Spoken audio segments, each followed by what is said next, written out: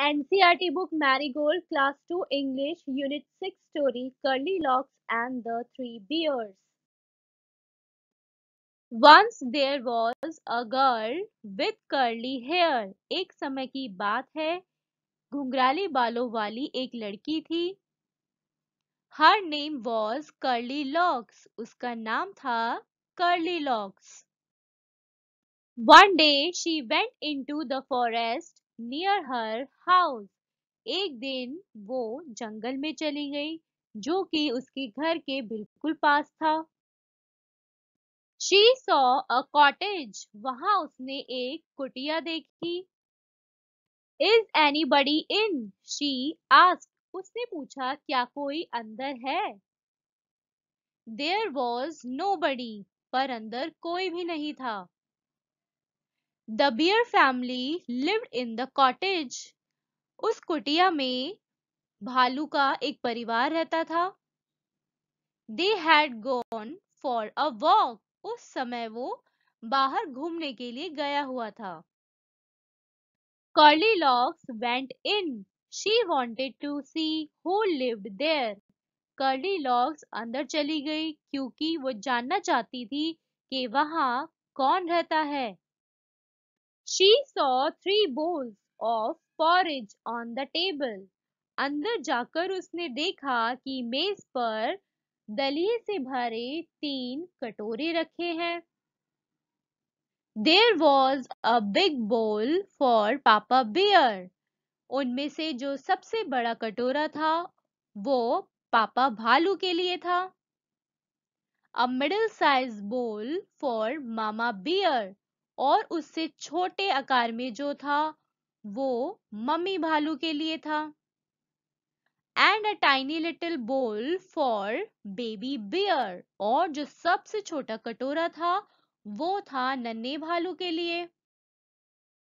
Curly Locks was hungry उस वक्त curly Locks भूखी थी।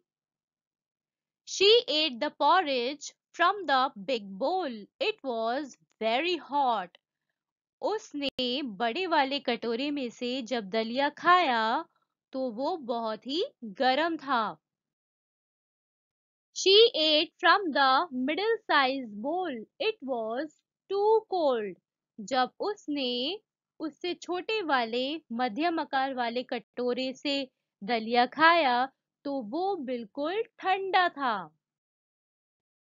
She ate from the tiny little bowl. It was just right. जब उसने सबसे छोटे वाले कटोरे में से दलिया खाया तो वो बिल्कुल सही था। ना ज़्यादा गर्म, ना ज़्यादा ठंडा।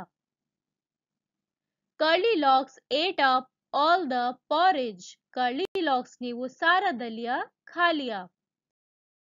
Then she went to the bedroom उसके बाद कर्ली लॉक्स उनके बेडरूम में आई। There was a big bed for Papa Bear. उसमें सबसे बड़ा बिस्तर पापा भालू के लिए था a middle size bed for mama bear और उससे छोटा मध्यम आकार का जो बिस्तर था वो मामा भालू के लिए था and a tiny little bed for baby bear और उसमें सबसे छोटा बिस्तर था नन्हे भालू के लिए। The big bed was very hard जो सबसे बड़ा बिस्तर था वो बहुत ज़्यादा सख्त था। The middle size bed was too soft और उससे छोटे आकार वाला जो बिस्तर था वो बहुत ही ज़्यादा मुलायम था। But the tiny little bed was just right लेकिन जो सबसे छोटे आकार वाला बिस्तर था, वो बिल्कुल सही था। ना ज़्यादा सख्त, ना ज़्यादा मुलायम। Curly Locks fell asleep in the tiny little bed Curly Locks उस छोटे वाले बिस्तर पर सो गई। The bear family came back भालू का परिवार टहलकर वापस आ गया। Somebody ate my porridge, shouted Papa Bear in his big gruff voice. पापा भालू ने चिल्लाकर ज़ोर से अपनी आवाज़ में कहा किसी ने मेरा दलिया खाया है Somebody ate my porridge too, said Mama Bear. मम्मा भालू ने भी कहा कि मेरा दलिया भी किसी ने खाया है Somebody finished all my porridge, said Baby Bear in his tiny little voice. छोटे से भालू ने कहा कि मेरा दलिया तो सारा ही खा लिया किसी ने the bear family went to the bedroom फिर उसके बाद भालू का परिवार अपने बेडरूम में गया Somebody slept in my bed, shouted Papa Bear in his big gruff voice. पापा भालू ने ज़ोर से चिल्लाकर अपनी आवाज़ में कहा कोई मेरे बिस्तर पर सोया है Somebody slept in my bed too, said Mama Bear. Mummy भालू ने भी कहा कि मेरे बिस्तर पर ज़रूर कोई सोया है Somebody is sleeping in my bed, said baby bear in his tiny little voice. नन्हे बालू ने अपनी धीमी सी आवाज़ में कहा मेरे बिस्तर पर कोई सो रहा है Curly Locks woke up. She saw the three bears. Curly Locks जग गई और उसने वहाँ तीन भालुओं को देखा She jumped down and ran out of the cottage as fast as she could. वो नीचे उतरी और उस कुटिया से जितनी तेज़ी से हो सकता था वहाँ से भागकर चली गई Now let's read the new words. First one is curly, घुंघराले, cottage, कुटिया या झोपड़ी बोल कटोरा पॉरेज खिचड़ी या दलिया हांगरी भूखा Now, let's do the question answers. The first one is, Who lived in the cottage in the forest? जंगल की उस कुटिया में कौन रहता था? जंगल की उस कुटिया में भालू का परिवार रहता था। तो हम लिखेंगे a bear family lived in the cottage in the forest next is what did Curly Locks see on the table Curly Locks जब अंदर गई थी उस कुटिया के, तब उसने मेज पर क्या रखा हुआ देखा था? उसने थ्री बोल्स रखे हुए देखे थे पॉरेज के राइट तो हम लिखेंगे Curly Lock saw three bowls of porridge on the table next is why did she eat up all the porridge from baby bear's bowl? तो हमें यहाँ पे पूछा है कि जो बेबी बियर का बोल था, जो नन्हे बालू का कटोरा था, उसमें से उसने सारा दलिया क्यों खा लिया?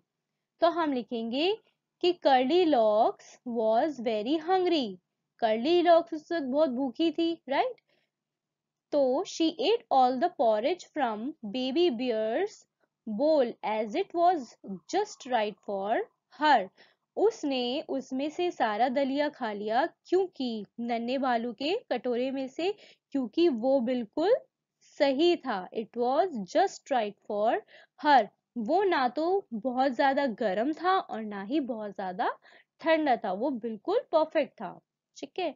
नेक्स्ट है bed did Curly Locks sleep in and why Curly Locks किसके बेड पर सोई और क्यों सोई? क्योंकि Curly Locks slept in the tiny little bed Curly Locks छोटे वाले बिस्तर पर सोई थी जो सबसे छोटे आकार वाला बिस्तर था which was perfect for her जो उसके लिए बिल्कुल परफेक्ट था। As it was neither very hard nor too soft ना तो वो बहुत ज़्यादा हार्ड था और ना ही बहुत ज़्यादा सॉफ्ट था, ठीक है? Next is the words curly and hungry tell us about Curly Locks can you find some more words which describe the bears now form them into sentences of your own.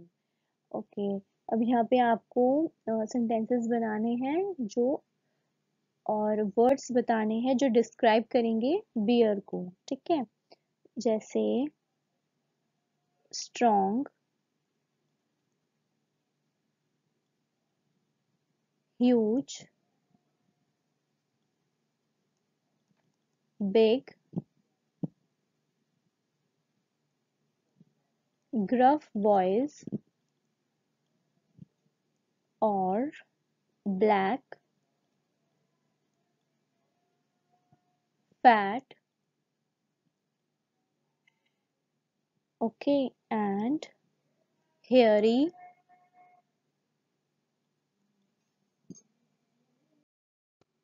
और हम क्या लिख सकते हैं large ठीक है? इसी तरीके से आपको अब इन वर्ड्स के सेंटेंस बनाने हैं। ठीक है? और सेंटेंस आप कैसे भी बना सकते हो। फॉर एग्ज़ाम्पल स्ट्रॉन्ग का बना सकते हो। My father is a strong man strong का आप लिख सकते हो। My father is a strong man my father is a strong man ठीक है नेक्स्ट है ह्यूज ह्यूज में आप लिख सकते हो an elephant is a huge animal इसी तरीके से आप बाकी के सेंटेंसेस भी बनाओगे, ठीक है? जैसे फैट है फैट में आप लिख सकते हो कि my friend is a fat है ना? या Mohan is a fat man big का आप बना सकते हो an elephant has a big trunk और ब्लैक है। ब्लैक में आप लिख सकते हो I have a pet dog which is black in colour okay next है right five lines on my family my family पे आपको फाइव लाइंस लिखनी है। ठीक है for example I have a joint family I have a joint family. It has 12 members. it has 12 members और आप क्या लिख सकते हो I have a brother I have a brother who is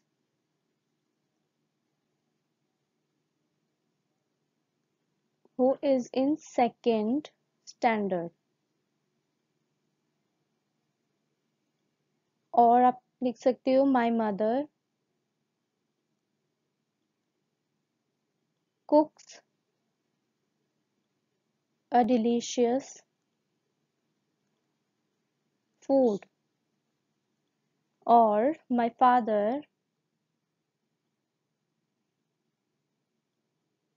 has a medicine shop okay next है a sailor went to sea sea sea to see what he could see see but all that he could see was the bottom of the deep blue sea. अब यहाँ पे आपको sentence बनाने हैं। एक सी होता है ये वाला एस ई ए जिसे कहते हैं समुद्र। ठीक है? एक सी होता है एस डबल ई जिसे कह जिसका मतलब होता है देखना। फिर एक टेल होता है टी ए आई एल मतलब पूंछ, और T A L E tail ये होता है जैसे कहानियाँ। फिर उसके बाद अब आपको इनकी सेंटेंसेस बनाने हैं। जैसे आप सी का बनाओगे the sea water is salty second sea है एस ई ई यानी देखना। तो आप लिख सकते हो आई नॉट सी क्लियरली फिर है टेल यानी पूंछ। तो हम लिखेंगे a monkey has a long tail फिर एक टेल है, यानी परियों की कहानियों वाला। तो हम लिखेंगे my mother reads out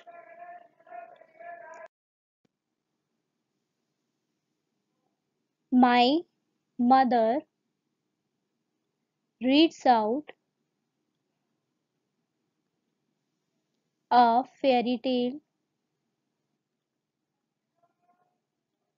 to me at every night. Okay. Next is अब यहाँ पे आपको ये पिक्चर दी गई है है ना?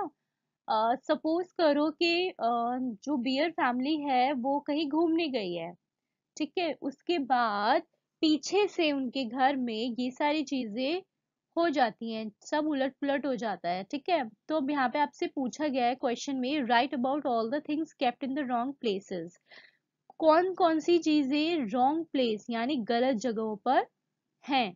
तो हमें यहाँ पर वो बताना है, ठीक है? जैसे अ बॉल जो बॉल है, वो कहाँ पर है?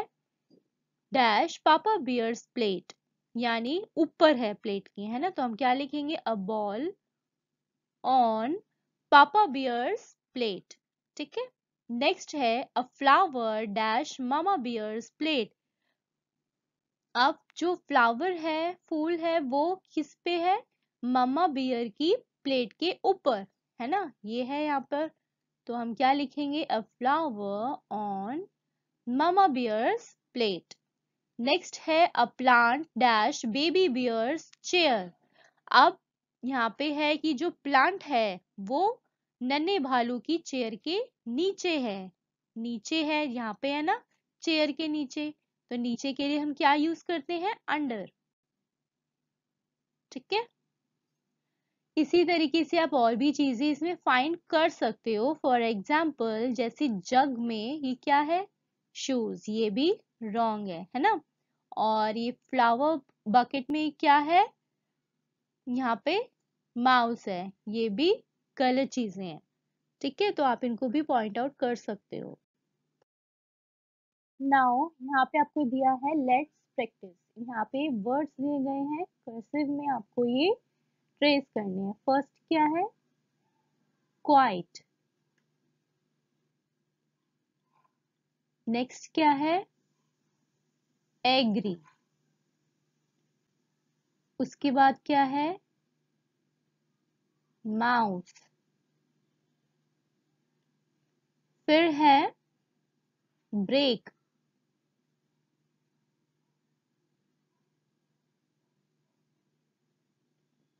उसके बाद है प्लेट ओके फिर है zig zag